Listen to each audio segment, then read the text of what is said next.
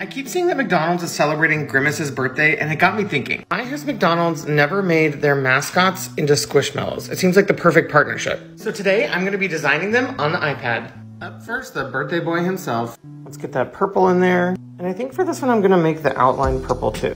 I wanna add in some little kind of like arms.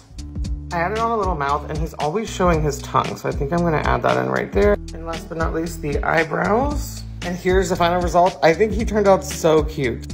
Up next, we're doing Ronald himself. I'm gonna add on a cute little smile. And I have to add the clown paint around it. Oh God. This is already terrifying. Okay, I added on the details at the bottom. Now adding in the color. Okay, it's definitely coming along. And last but not least, we need the hair. Here he is all complete. I thought he was gonna be creepy, but I actually love him. Come back for part two.